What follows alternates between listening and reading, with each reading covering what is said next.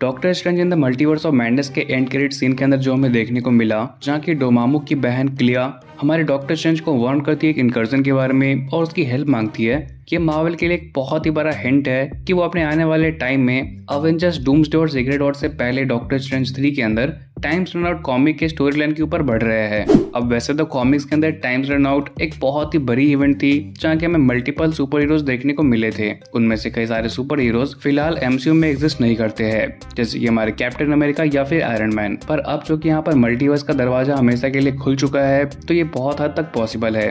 तो आइए जानते हैं कि वास्तव में टाइम्स रनआउट के इवेंट के दौरान हमें क्या कुछ देखने को मिला था। सबसे पहले बात करते हैं इनकर्जन की।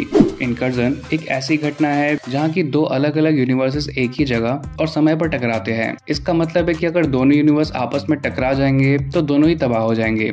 पर अगर कोई एक यूनिवर्स दूसरे को खत्म कर देता है तो दूसरा यूनिवर्स बच सकता है। इसलिए अवेंजर्स और इल्यूमिनाटी को यह तय करना होता है कि वे दूसरे यूनिवर्स को नष्ट करे या खुद नष्ट हो जाए। अब इल्यूमिनाटी की बात करें तो इसमें शामिल है हमारे Iron Man Doctor Strange Black Panther Mister Fantastic यानी कि Reed Richards Black Bolt Namor और बीस्ट ये सभी लोग मिलकर तय करते हैं कि किसी तरह दूसरे यूनिवर्स को नष्ट करके अपने यूनिवर्स को बचाया जाए। लेकिन ये फैसला इतना आसान नहीं होता है ये सभी हीरोज खुद को सवालों के घेरे में पाते हैं कि क्या वे सही कर रहे हैं और इन सब का नैतिक पक्ष क्या है। इस कहानी में सबसे बड़ा तनाव अवेंजर्स और न्यू एवेंजर्स के बीच पैदा होता है। एक तरफ़ हमारे स्टीव रॉजर्स यानी कि कैप्टन अमेरिका और उनकी एवेंजर्स की टीम, जो किसी भी हाल में नैतिकता को पीछे नहीं छोड़ना चाहती। सबकी दूसरी तरफ़ इल्यूमिनाटी है, जो हर हाल में अर्थ को बचाने के लिए कुछ भी करने को तैयार है। चाहे इसका मतलब दूसरे यूनिवर्स को खत्म करना ही क्यों ना हो?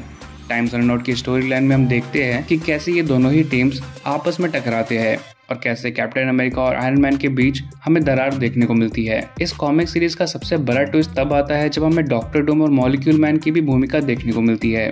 डॉक्टर डूम एक अलग ही मिशन पर होते हैं, जिसमें वो बियॉन्डर नाम के गॉड लेवल बींग को हराने की कोशिश कर रहा है, जिसकी वजह से इनकर्जन हो रहा है। डॉक्टर डूम और मॉलिक्यूल मैन का किरदार पूरी कहानी का रुख बदल देता है, और इन्हीं दोनों कैरेक्टर्स की वजह से सीक्रेट वॉर की नींव रखी जाती है, जो कि हमें आने वाले एमसीयू के फ्यूचर में देखने को भी मिलेगा। Times are not comic series Marvel के सबसे बड़े इवेंट में से एक सीक्रेट वॉर्स की शुरुआत का हिस्सा है। इस इवेंट के अंत में हम देखते हैं कि मल्टीवर्स लगभग खत्म हो चुका है, और बस बचे हुए एक ही यूनिवर्स का सवाल है ये कहानी मावल यूनिवर्स की सबसे बड़ी स्टोरी लाइन में से एक है, जो स्टोरी लाइन हमें कुछ हद तक डॉक्टर स्ट्रेंज थ्री के अंदर देखने को मिल सकता है।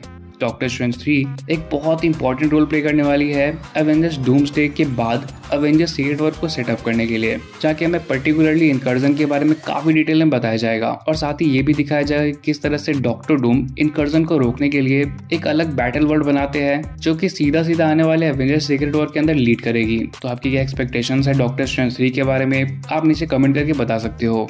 बाकी हाँ स्पाइडरमैन फोर के बारे में जानना चाहते हो तो इसे भी लेकर काफ़ी सारे इंपॉर्टेंट और इंटरेस्टिंग न्यूज़ सामने आई है जैसे कि आप हमारे पिछले वीडियो के अंदर जाकर देख सकते हो। फ़िलहाल अपन इस वीडियो को यहीं पर एंड करते हैं, और मिलते हैं बहुत जल्द अगले वीडियो में। Tell then good bye